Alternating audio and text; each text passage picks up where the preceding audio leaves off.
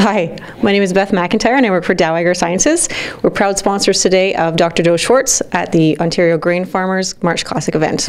Is that a fact? Is uh, my latest book, at least until the next one comes out, which is uh, Monkeys, Myths, and Molecules, out, out May 1st. Uh, but um, I like the title of this one, Is That a Fact? Because life really should be based upon facts uh, not on hearsay, not on emotion. But uh, facts are, are, not so easy to come by, and uh, they're sometimes difficult to, to interpret. You know, it's, it's, uh, it's one thing to say that the square of the hypotenuse is equal to the square of the other two sides of a triangle. That's a fact. And that's not alterable, it's not discussable. That's what it is. But when it comes to the, the question of using uh, agrochemicals, uh, facts are, you know, are more ambivalent uh, because they're open to interpretation. And that's where we kind of run into trouble trying to explain science to, to the general public. Uh, because science is not white or black, it's various shades of gray. And uh, most of the time, people want yes or no answers. And we can't deliver that. Uh, our answers come with many ifs and buts and maybes and explanations. The word, the word chemical, unfortunately, has, has taken on a negative connotation. And it, it's quite interesting the way that that has happened because, you know, when I was growing back, up back in the 1950s and 1960s, uh, chemistry was, was highly regarded. Uh, I remember going in 1963 to the New York World's Fair, uh, and um, all the magnificent scientific displays. I remember going to the DuPont Pavilion where they had dancing molecules that told the story of chemistry, and, and nobody thought anything negative about this. Uh, and then along came Rachel Carson's book, Silent Spring, uh, which I think was sort of the turning point, uh, claiming that uh, pesticides were harming the environment. And of course, there was some truth to that because up to that time there wasn't as much regulation as there should have been, and many chemicals were overused. And then uh, chemistry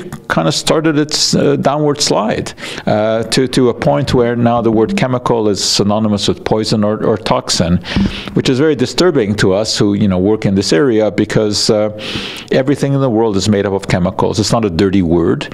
Uh, it's just a descriptor of the un units that everything is made up of. And they're not good, they're not bad. Uh, chemicals don't make any decisions, people make decisions. So what we need to do is really not to fear them, not to worship them, but to understand them.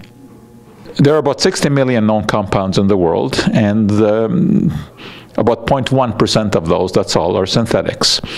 And uh, most of those have been made since the Second World War and have been released into the environment, of course, in, to various degrees. And there are about 80,000 chemicals that, that have appeared in various kind of products since the Second World War. And um, not all of those have been tested as you know uh, extensively as they in theory could be and this is a an area where people clamor, you know, for more testing because they say, you know, that we've unleashed all of these substances. 0.1% of all the compounds, you know, that exist that we talk about, which are synthetics, in truth are probably better tested than the 99.9% of the natural ones. They're not all tested, and then are all tested to the to the extent that maybe they should be but the natural compounds are not tested at all. You know, so, and so uh, the world is full of natural pesticides. Um, as I mentioned, coffee, which contains about a thousand compounds, many of them are naturally occurring pesticides, and they're carcinogens.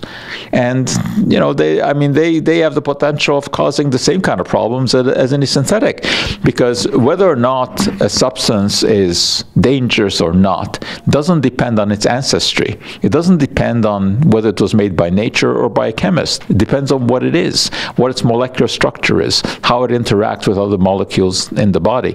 And the only way you know that is by testing. The cornerstone of toxicology is, is a phrase that has been with us for 500 years, and that is that only the dose makes the poison. And numbers matter. It's, it, the uh, question that is very often asked is, is this dangerous or not? It's not answerable because it depends on, on what the context is. Yes, pesticides can be dangerous. They have an innate hazard. Of course they do, otherwise they would not be good as pesticides. They're designed to kill pests. But we have to take into account what we're exposed to and how much we're exposed and in what way we're exposed. You can't test everything you know, on, on animals. It, it would take thousands and thousands and thousands of, of animals to do all the requisite testing. It's, it's logistically not possible. But there, there are some standard tests that, that we have learned over the years give us the, the proper information. It's not perfect, but it's, it's pretty good.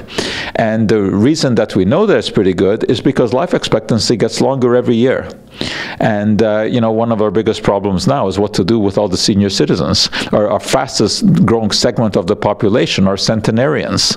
You know, so we're not killing off people in, in droves.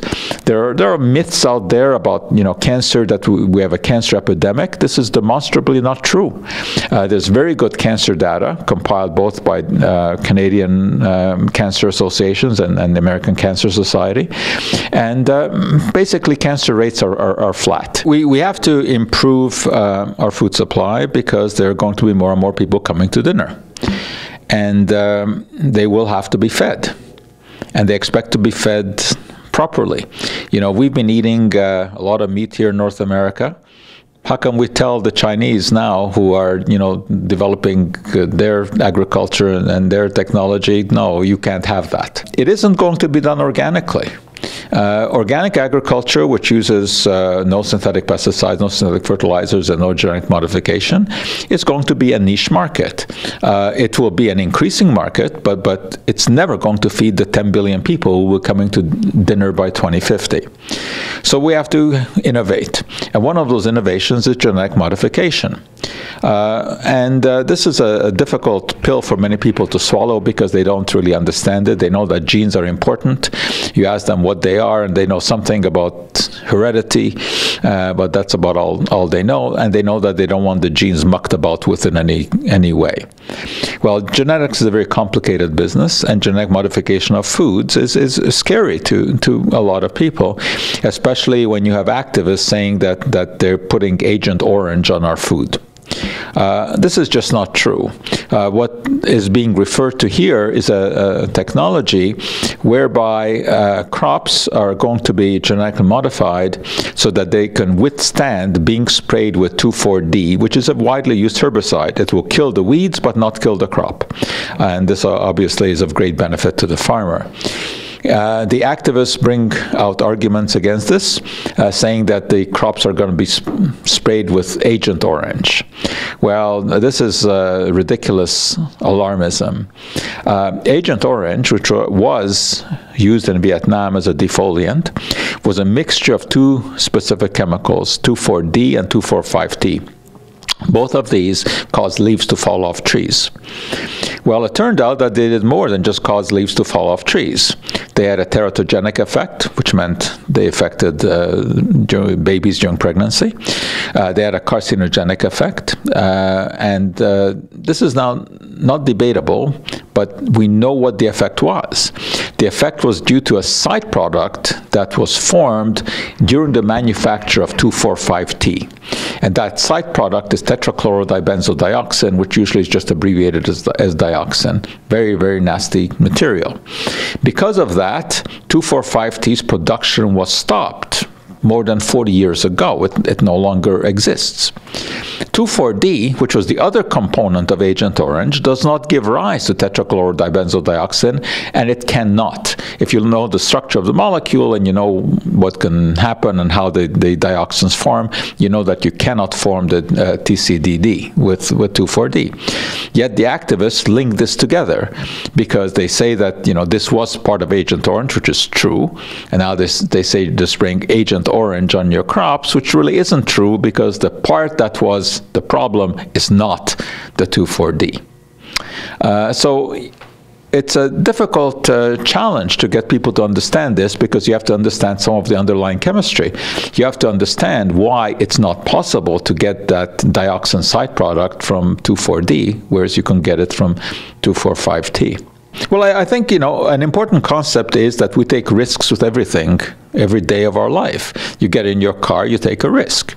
Now, you don't think about it, uh, but basically it comes down to an evaluation of, of risk versus benefit because the chance of having an accident in that car is, is very small, but it's real, right? It's, it's measurable.